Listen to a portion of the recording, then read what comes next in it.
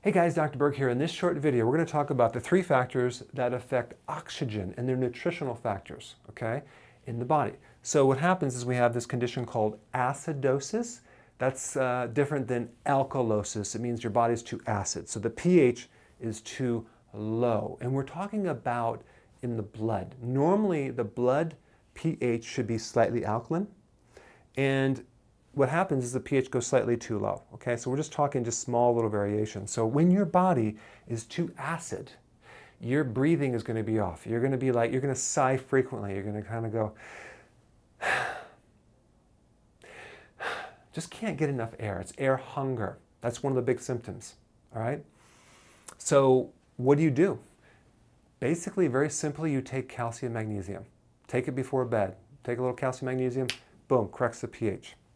Um, the way you get this condition is actually being in ketosis for a period of time. Now, it's not a bad thing to be in ketosis because you're burning fat, but ketones are acidic. So you always have to offset it by eating more calcium, magnesium. What I do, I consume so much vegetable that I don't have a problem with a loss of calcium. Okay, or I might do some cheese on a regular basis at night. Um, but just realize if your breathing is off, you need to uh, alkalize your body with alkaline minerals, vegetables, or calcium magnesium would be the best thing. All right. Another way to know that you need calcium is or magnesium is if you have cramps in your calves. Okay. So that's acidosis. And secondly, vitamin C deficiencies. Vitamin C is stored in your adrenal glands, and vitamin C allows your body to hold oxygen in the body longer and better. And so with the vitamin C deficiency, you won't be able to hold your breath very long. Okay? You will not be able to, um, you're going to get out of breath when you climb stairs fast. Your muscles will fatigue faster without vitamin C, especially if you're going up an incline, like your legs are heavier. Um, but mainly, uh, you can't hold your breath for a long period of time. That's an adrenal problem. But see, the adrenal uh, stores vitamin C, so you just don't have enough vitamin C to store it, so it drops out and you have oxygen problems. Mainly shows up incline, walking upstairs, out of breath, you know, that type of thing. All right? Just make sure that when you take vitamin C, you always take it from a food concentrate. Don't take it from some synthetic pill because the, the type of vitamin C you're getting from synthetics are just ascorbic acid. And that's just one little piece of the vitamin C complex. You need the whole vitamin C complex. So I like to get it from food base. Um, a good source would be the wheatgrass juice powder. That actually provides the full vitamin C complex. Then we get to vitamin E. Vitamin E deficiencies will create problems with high altitude breathing problems.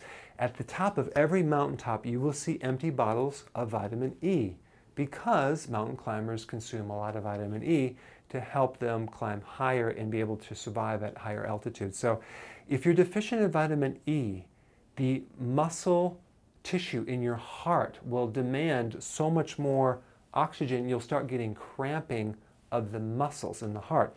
And so, like angina pain, chest pain, is really a vitamin E deficiency.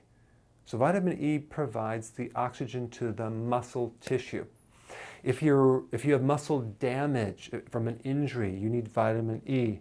Uh, so, vitamin E is really important in recovering muscle tissue and increasing oxygenation of the muscle itself and the heart. All right.